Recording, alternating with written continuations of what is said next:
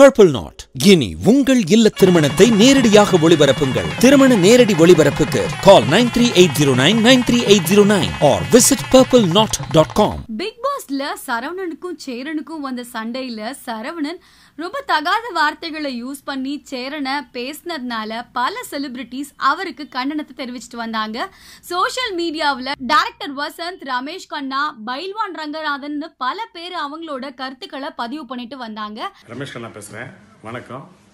Big pass நிகழ்ச்சியில் நம்ம friend Saravanan அவர்கள் வந்து நமது நண்பர் சேரன் அவர்களை வந்து வாடா படம் ஒரு மாதிரி மறைய மரியாதை குறைவாக தரக்குறைவாக பேச வந்து அப்படியே உலகம் பூரா பேசிகிட்டு இருக்காங்க.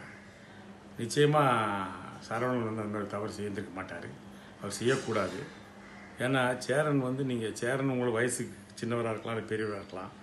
இருந்தாலும் அவருடைய படைப்புகளுக்கு நாம் மரியாதை கொடுத்துக்கணும் இல்லையா? அப்படிப்பட்ட படைப்புகளை நாம் பார்க்கவே முடியாது. பொற்காலமாகட்டும் பாரதி கண்ணமாகட்டும் ஆட்டோகிராஃப் ஆகட்டும் தவமாய் தவமருந்தாகட்டும் அற்புதமான குடும்ப பின்னணியை வைத்து பொது திருமணம் படம் எடுத்தார். நல்ல படைப்புகளுக்கு இருக்கின்ற ஒரு மரியாதைக்குரிய இயக்குநரை வந்து மற்றவர் மத்தியில் நீ தனிப்பட்ட முறையில் பேசினா கூட பரவாயில்ல. மற்றவர் மத்தியில் வந்து பப்ளிக் எல்லாம் பார்க்குறாங்க வாடா போடான்னு பேசும்போது என்ன ஆகுதுன்னா உங்களுடைய மரியாதை குறைஞ்சி போகுது. ஏற்கனவே சரவணன் கொஞ்சம் டென்ஷன் பாட்டு தான். நான் டென் சரவணன் நான் வந்து அபிராமி பொண்டாட்டிலாம் ஒர்க் பண்ணியிருக்கிறேன். நல்ல மனசு உள்ளவர் தான். திடீர்னு கோபம் ஜாஸ்தி வர அவருக்கு. அதனால தான் ஒரு முறை அப்படி தான் ஒரு பேட்டியில் பாக்யராஜ் நடிகரே இல்லை அப்படின்ட்டு நான் சொன்னேன். புரட்சித் தலைவரால் கலை உலக வாரிசு என்று அறிவிக்கப்பட்ட பாக்யராஜ் நடிகர் இல்லைன்னு சொன்னேன் இப்படி நான் அவர்கிட்ட சொன்னேன். அதனால் வந்து சரவணன் கொஞ்சம் கோபத்தை அடைக்கணும் அவ்வளோதான் மேட்ரு இந்த காலத்தில் வந்து ஈவரா பெரியாரை பற்றி கேள்விப்பட்டிருக்கீங்க. ஒரு தன்னை விட சின்னவராக இருந்தால் கூட சரி வாங்க போங்கன்னு மரியாதையாக வந்தவொடனே எழுந்து நின்று அவர்கள் உட்கார்ந்த பிறகு அவர் உட்காருவார்.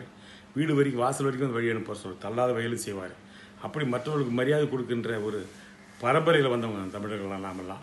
அதனால் சரவணன் வந்து தன்னுடைய போக்கை மாற்றிக்கணும் அதிகமாக இது வர்றதுக்குள்ளே அவர் மன்னிப்பு கேட்டுருவார். ஏன்னா ரெண்டு மூணு தடவை ஏற்கனவே மன்னிப்பு கேட்டார் அதுக்கேத்த மாதிரி இப்போ ரீசெண்டா ஒரு ப்ரோமோ விட்டிருந்தாங்க. அந்த ப்ரோமோல நம்ம உலக நாயகனும் சரவணனை வச்சு செஞ்சாருந்தாங்க சொல்லணும்.